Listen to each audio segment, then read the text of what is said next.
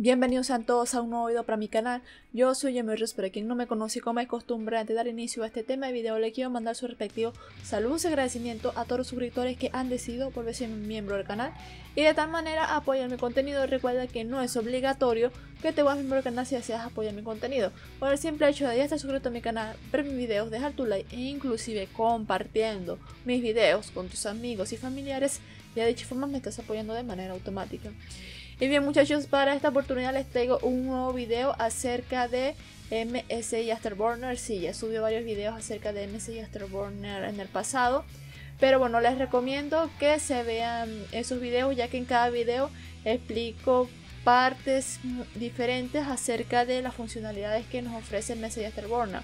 Una de ellas es cómo configurar Rival Turner, eh, ver las métricas y bueno, personalizarlas completamente a nuestro gusto, que muy pocos videos lo explican, así que les invito a que se vean ese video si tienen interés de cómo personalizar sus métricas, como también tengo otro video donde explico cuáles son las funcionalidades que nos ofrece Messi Afterburner y bueno, los, diferentes parámetros que bueno, podemos ajustar allí. En este video únicamente les voy a hablar acerca de cómo sacarle el máximo provecho a MSI Afterburner. Para mí MSI Afterburner es un software que prácticamente es obligatorio, esencial tenerlo en nuestra PC gamer porque la verdad que este programa es de mucha utilidad. Aquí les voy a mostrar eh, básicamente cómo es que yo lo uso. Aparte de ver mis métricas mientras juego, también lo uso para otras cosillas más allí que pueden ser em, tontas, pero la verdad que sí hacen la diferencia.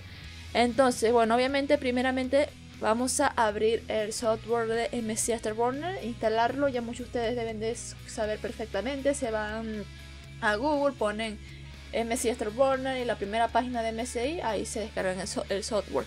Muy importante, muchos me preguntan, oye, llame, pero el programa se llama MSI Afterburner. Entonces, muchos de ustedes piensan que este programa es únicamente para placas madres o computadoras de MSI. Y no, señores, MSI Afterburner prácticamente es un software o programa, eh, podría no decirlo universal, porque es completamente compatible con cualquier fabricante. No tienes que tener una PC con algún, eh, alguna pieza de MSI, nada que ver.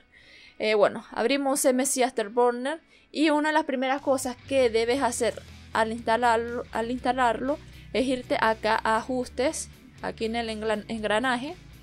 Y aquí vas a habilitar la siguiente palomita. Creo que al instalar el software él te pregunta esto, pero en dado caso que no lo haga, eh, configura que eh, se inicie siempre al iniciar Windows. Es decir, que cuando tú enciendas tu computadora, MSI Afterburner siempre esté allí en segundo plano funcionando. ¿Por qué?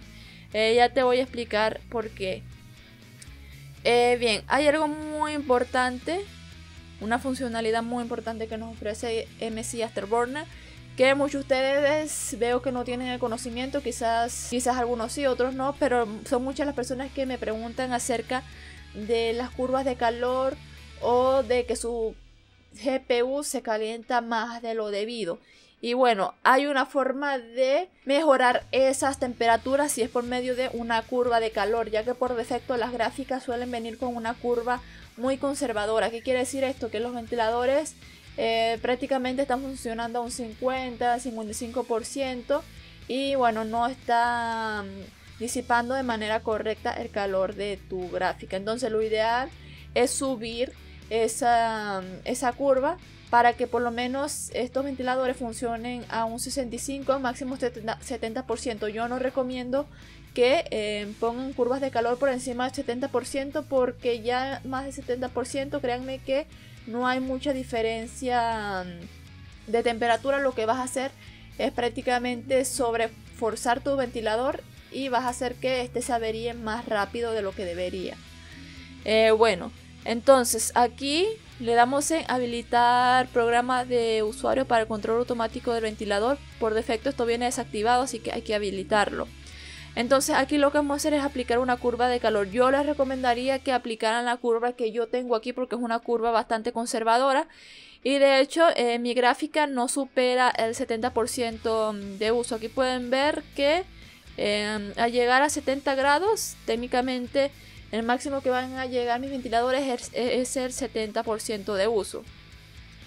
Y entonces aquí, bueno, la, gráfica va a ir subiendo progresivamente dependiendo de la temperatura em, alcanzada. Aquí es esencial, como ya se los mencioné, que tengan activado iniciar al iniciar Windows. De tal manera la curva siempre va a estar activa.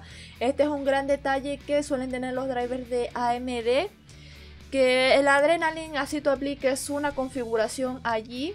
Eh, al iniciarse el PC o al momento de que el driver crashea. Algo que es muy común en los drivers de AMD que siempre tienen errores random pero la situación es que no suele mantener esta configuración y tienes que volverla a cargar.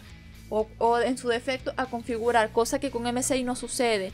Eh, tú puedes configurar tu perfil y tenerlo siempre activo.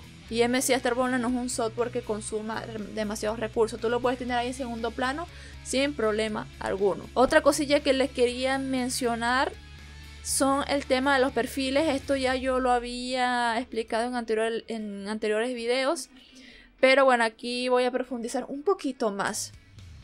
Aquí en MSI Afterburner tenemos eh, distintos perfiles. Eh, podemos guardar hasta 5 perfiles. Estos perfiles nos van a servir para guardar distintas configuraciones o diferentes ajustes.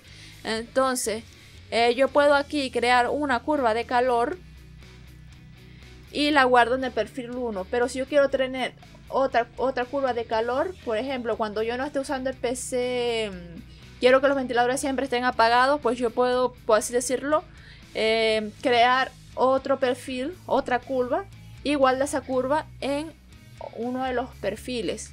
Y yo lo único que tengo que hacer es hacer clic en, en, uno de los perfiles y se va a cargar automáticamente. Ahí lo pueden ver sin problema alguno. Aquí pueden ver que yo tengo dos perfiles. Estos perfiles siempre van a estar activos porque, o sea, yo tengo configurado mi MSI Afterburner que al iniciar el Windows, este inicia y siempre está en segundo plano. Aquí pueden ver que yo tengo dos perfiles. Este, mi perfil 1, es el perfil que yo uso para minar. Eh, aquí pueden ver que eh, MSI Afterburner, aquí lo tengo configurado, eh, el clock y el memory clock.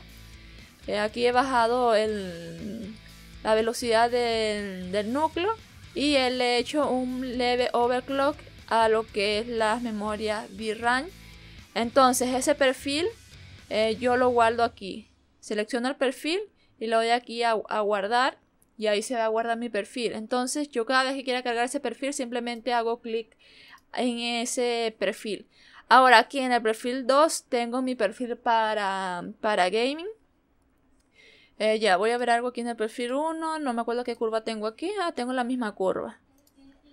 Bueno, aquí cargo el perfil número 2 y aquí pueden ver que tengo mi, configuración para gaming. Tengo mm, diferentes valores en lo que es el memory clock y en el core mm, clock. Y realmente no hay mucho que toquetear en MSI Afterburner. Con una sola vez que tú configures uno de estos perfiles, el perfil siempre va a estar allí activo, entonces no vas a tener que preocuparte por las curvas. Puedes realizarle un underboard como si también un, overclock a tu máquina y tener ese perfil siempre, no disculpen, micrófono, micrófono, pero la situación es que siempre vas a tener ese perfil allí guardado, cosa que em, es difícil mantener con el Adrenaline por lo antes ya mencionado. A veces tú reinicias el PC y tu perfil se borra y tienes que volver a cargarlo o volver a configurarlo, cosa que con MSI Afterburner te ahorras. Créanme que desde que yo descargué MSI Afterburner la primera vez yo configuré estos perfiles sin más nunca he vuelto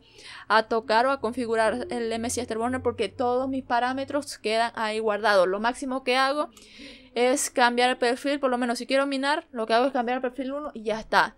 Quiero jugar, cambio al, al perfil 2, ya está. Entonces eso es a mi criterio en cómo sacarle el máximo provecho al MSI Afterburner. Créanme, como ya les dije, este es un programa prácticamente esencial que todos nosotros deberíamos tener en nuestra PC gamer. Eh, otra cosilla allí es el tema de la monitorización con el Ray Bar Toner, como ya les dije. Eso lo explico ya en otro, en otro video. Así que bueno, eso era todo lo que les quería hablar sobre Messi Esterborno para que ustedes le saquen también el debido mm, provecho a este software y vean lo útil que es. Así que bueno, sin más nada que decir, recuerden suscribirse a mi canal si no lo, han hecho aún y nos vemos en una próxima oportunidad. Recuerden dejar su like. Bye bye.